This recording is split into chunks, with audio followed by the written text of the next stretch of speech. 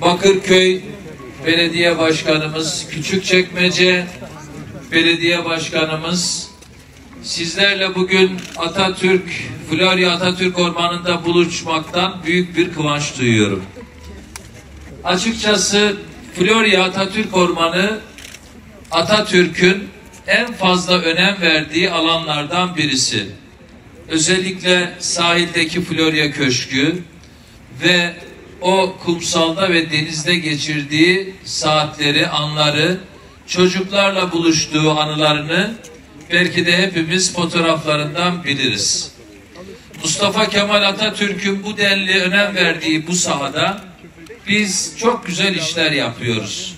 Neyi yapıyoruz? Aslında yıllardır kendi haline bırakılmış ve gerçekten çok güzel bir doğaya sahip olan bu alanın ne yazık ki altyapı olarak insanların sadece ve sadece yürüyüş, koşu yaptığı, dinlendiği bir alan olarak hazırlığı çok eksikti. Bu alanda birkaç kez Bakırköy Belediye Başkanımız ve heyetlerimizle dolaştık. Eksiklikleri tespit ettik. Tümden ele alınmasını, tümden buranın kullanılabilir hale gelmesini, makul seviyede aydınlatma ve bir takım ihtiyaçlarının giderilmesi, ihtiyaç alanlarının buraya konumlandırılması ve gerçekten yürüyüş esnasında yine masum bir biçimde belediyemizin Beltur gibi imkanlarından faydalanacakları birkaç e, buluşma noktasının konulması ile ilgili prensip kararlarına vardık.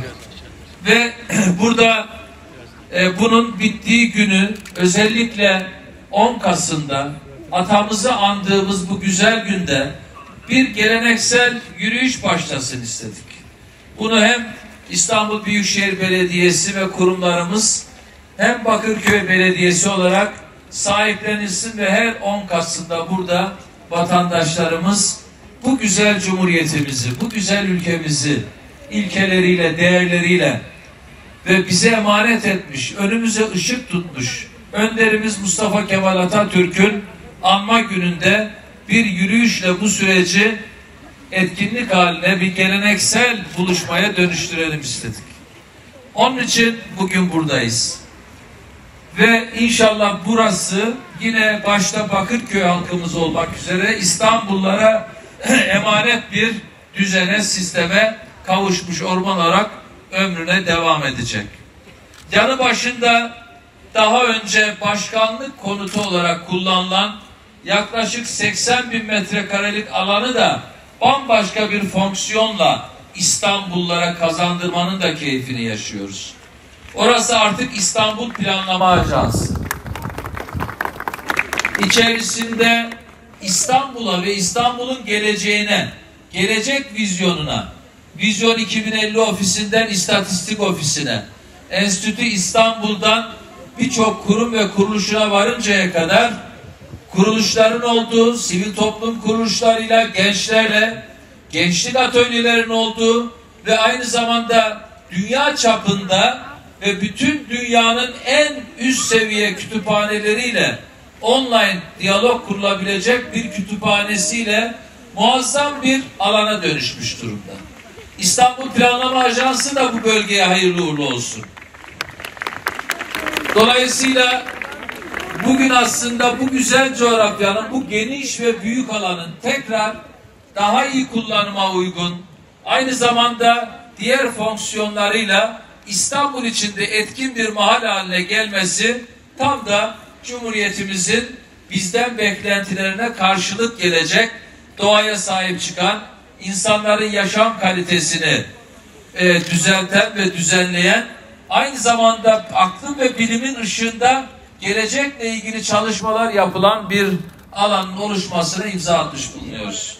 Ben bugün buradan ayrılıp e, yurt dışına gideceğim ve dünya iklim zirvesine katılacağım. İskoçya'da, Glasgow'da. Orada orada Perşembe ve Cuma toplantılara eşlik edeceğim. Dünyanın artık en önemli konusu, ülkelerin en önemli konusu ve şehirlerin en önemli konusu iklim değişikliğiyle mücadele, küresel ısınmayla mücadele. Bu noktada dünyadaki bütün ülkeler bütün bütçelerinin büyük bir kısmını artık bu alana ayırıyor ve dünyanın yaşanabilir bir dünya olması için ortak mücadele platformları oluşturuluyor. İstanbul dünyanın bu yolculuğunun en lokomotif şehirlerinden birisi olmak zorunda. Çünkü İstanbul dünyanın en güzel, en değerli, en önemli şehirlerinin başında geliyor. O zaman hepimiz sorumluyuz. Dünyayı korumak, ülkemizi korumak, şehrimizi korumak, doğayı, yaşamı, canlıları ve tabii ki insan yaşamını korumak ve güzelleştirmek adına milletçe, beraberce, ortak akılla bir mücadelenin içerisinde olmamız lazım. Bu yönüyle doğaya, şehrimize, yaşamımıza, ülkemize tahribat verecek veya bizi tehdit eden, yaşamı tehdit eden her ne varsa, hangi anlayış varsa, hangi iş varsa, sözüm ona hangi proje varsa karşısında milletçe durmalıyız. Ki yaşam kalitemiz güzel olsun. Bu yönüyle bu yönüyle ben her zaman söylüyorum. İnsanoğlu da Yaradan da Cumhuriyetimizi kuranlar da onlara onların emanet ettiği değerleri yaşatan bizler de eğer onlara layık olacaksak veya sevilen bir kul olmak istiyorsak Allah çalışanı sever.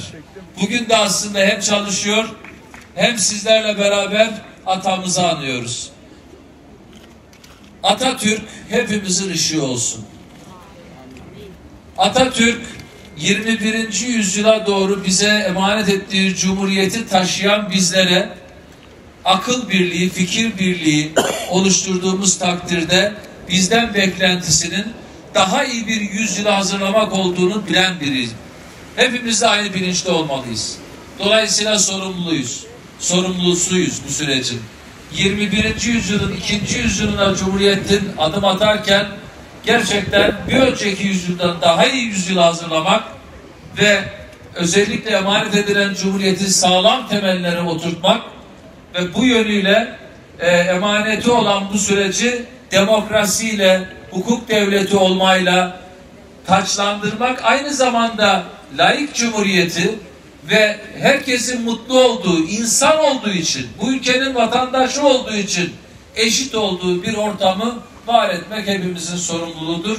Bunun örneği olan İstanbul'u e, ilk önce bu sürece, bu zemine taşıyacak olan da bizleriz. Tekrar e, Atatürk'ü rahmetle, saygıyla, minnetle, şükranla anıyor. Silah arkadaşlarını anıyor. Önlerinde saygıyla eğiliyor. Hepinizi sevgiyle, saygıyla selamlıyorum.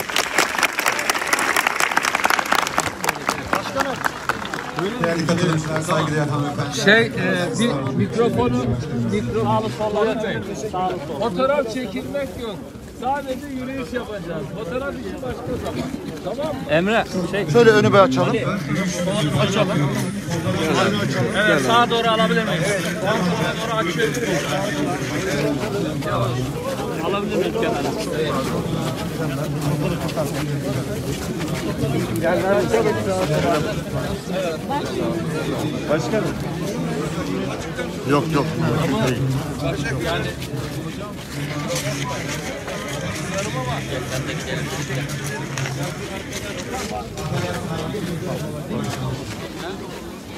Onu pardon. Pardon.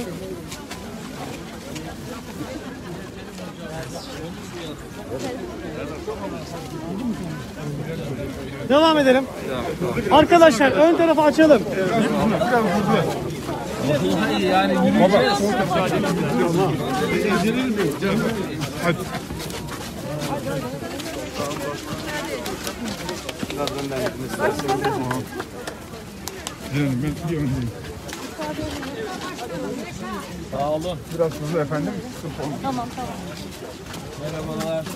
Evet başkanım günaydın. Ne haber, iyi misin? İyi başkanım. Başkanım günaydın. Sağ olun başkanım.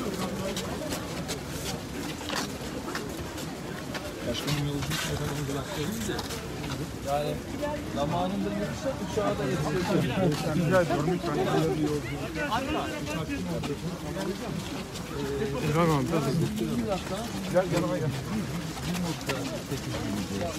Tamam abi. Ya 8 kilometre yürümek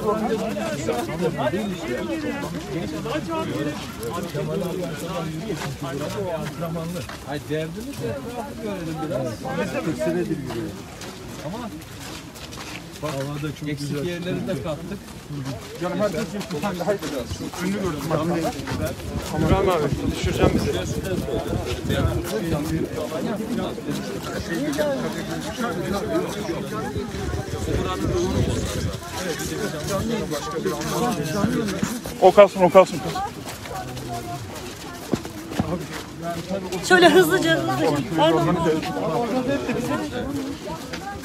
Şekil. Hayırlı işler arkadaşlar. Çayınızı içmeye geleceğim başka zaman.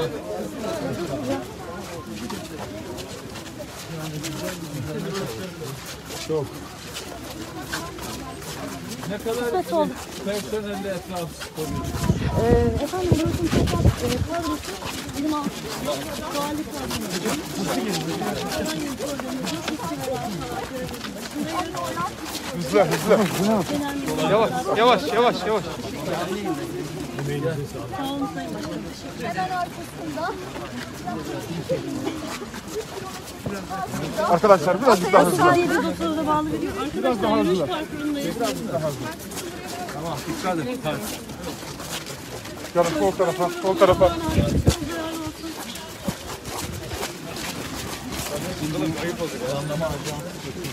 Birazcık daha hızlı gençler.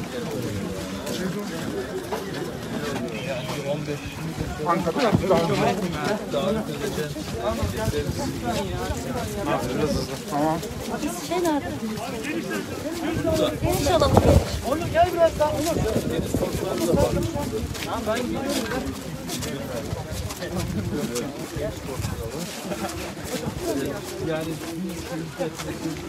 Güzel. Biraz daha hızlı. Dikkat.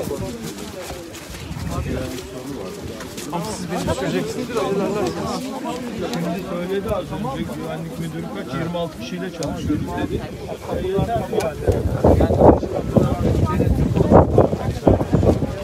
Hızlı biraz hızlı. Hadi Allah tamamını erdirsin. Kolay gelsin. Hayırlı işler.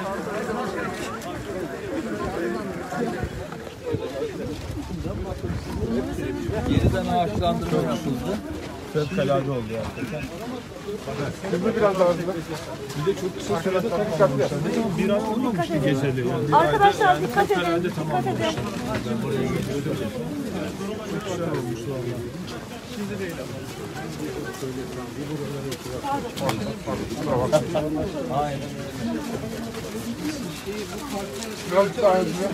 Önlerini görebilirsiniz efendim. Evet.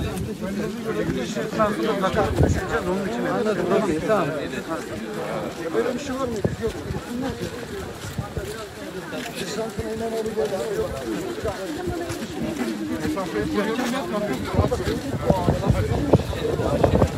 Biraz daha hızlı.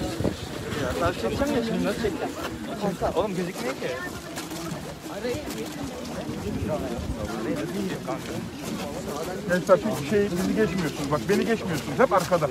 Başkanların arkasında kalıyoruz. Canım. Doya doya yürüsünler. Görüyorsunuz.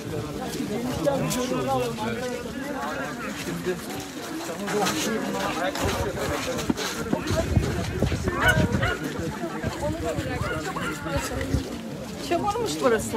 Her geçen gün gittikçe şey yapar. Herkes birbirine rehber eder.